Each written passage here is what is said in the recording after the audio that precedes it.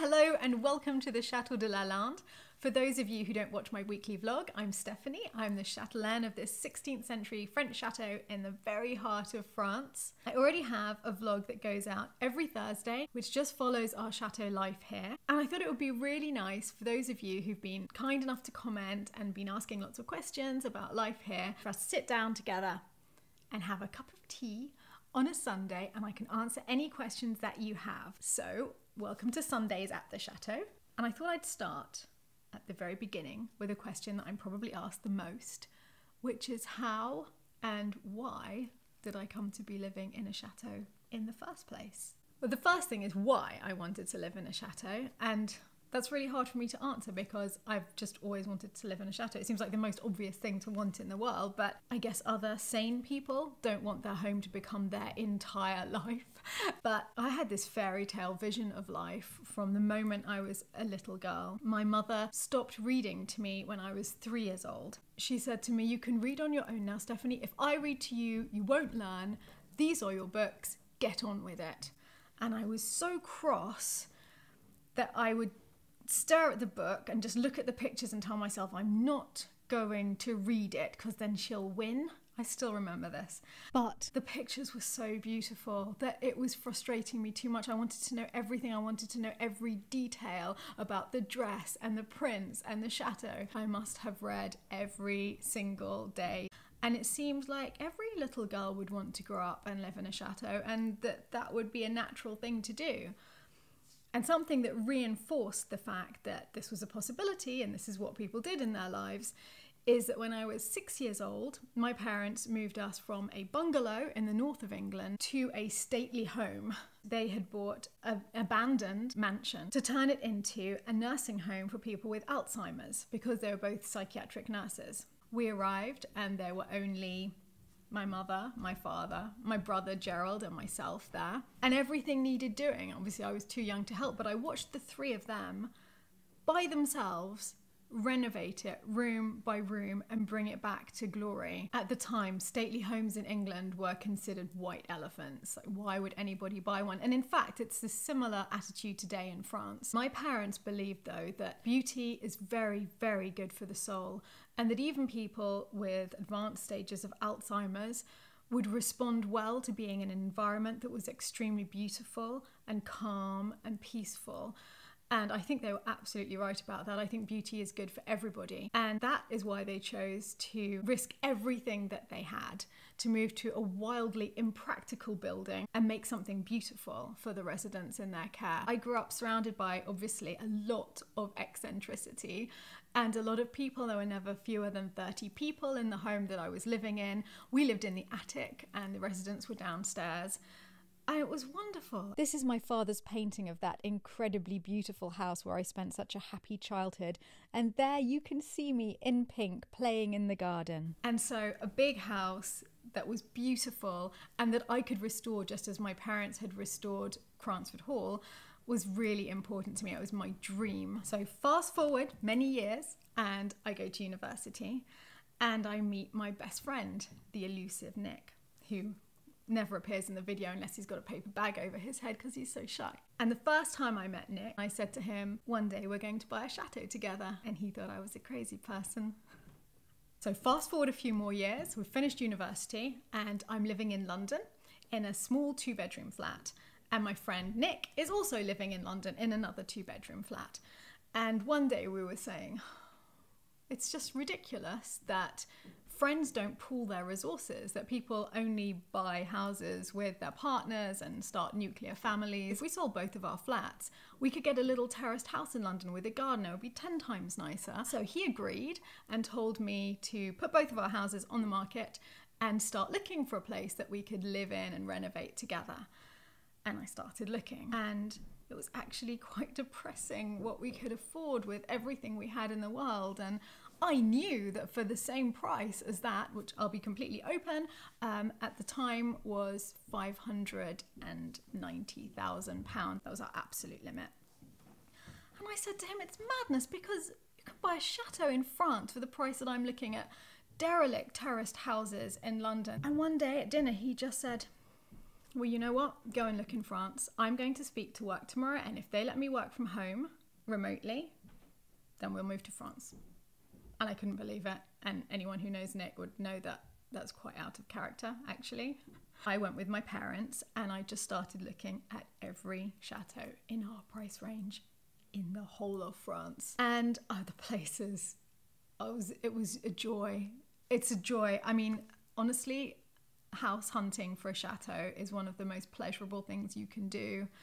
It's like going around a museum and being told you you've got the opportunity to buy to buy it at the end. And I loved I loved the places. We saw amazing places, but the thing is our price range was quite small uh, for a chateau.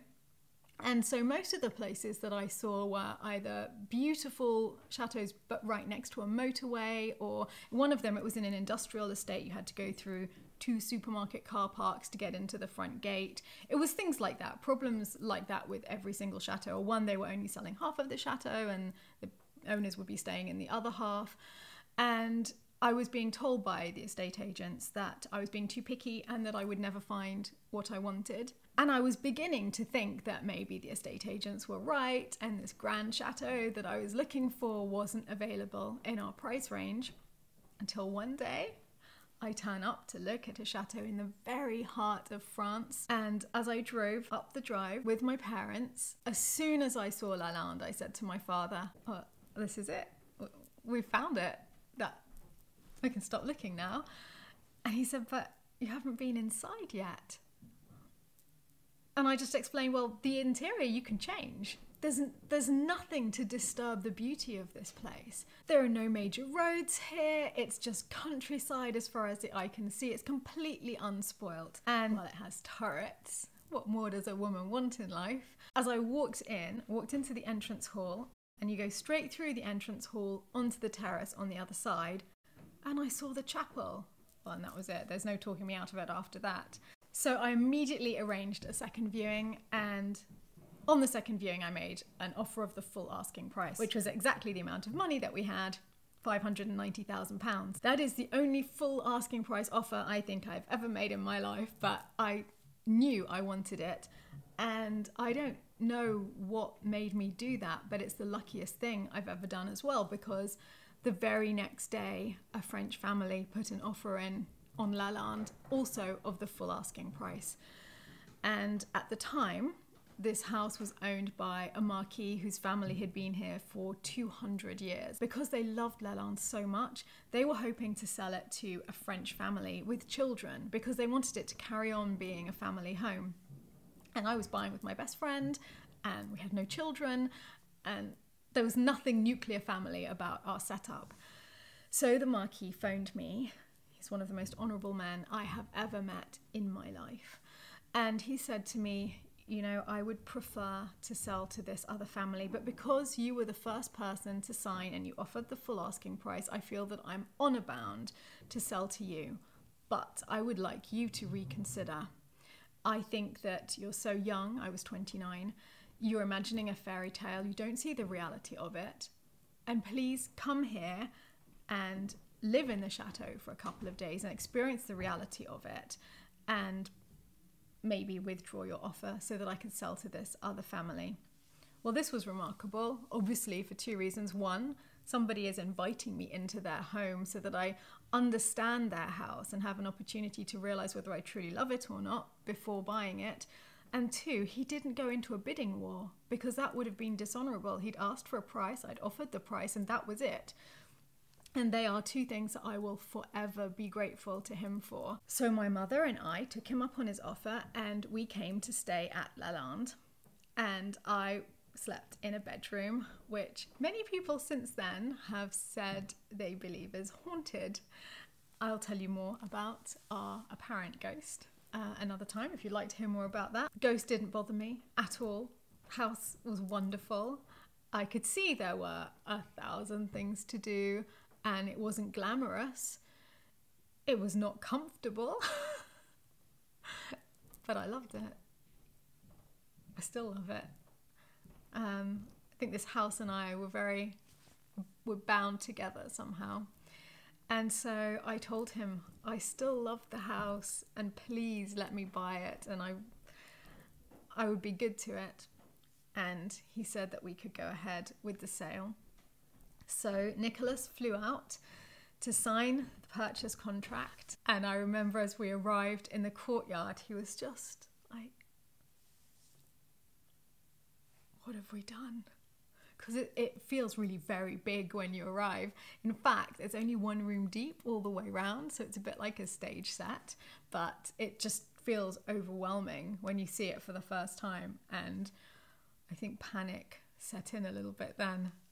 We thought it would take us five years to restore and then we could sell it and move on and do other projects in life. And at the end of five years, two things had become apparent. One, it would take a lifetime to restore and a heck of a lot more money than we actually had.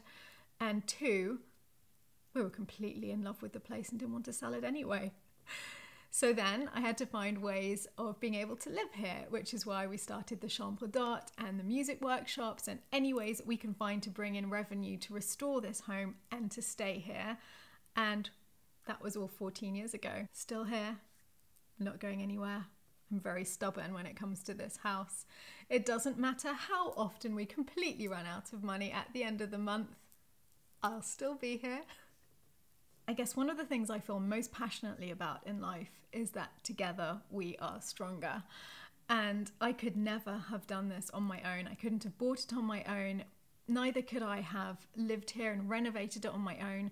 That's why I live with friends, with family. I have so many volunteers here that come from all over the world. For me, that's what makes life joyful is sharing these experiences with other people and achieving 10 times more because we're together. Anyway, that's the story of how we came to live at Lalande so long ago at the age of 29 and I'm going to stop myself there because honestly I could talk about chateaus and chateau life for hours because it's my passion and I love everything about life here. But let me know in the comments if there's anything else that you would like to know about any other aspect of chateau life or French life feel free to ask me anything and then I'll pick out topics to talk to you about on other Sundays and if you love Chateau Life, then please subscribe, and there'll be lots more about chateaus on this channel in future. Have a lovely Sunday. I let my tea get cold.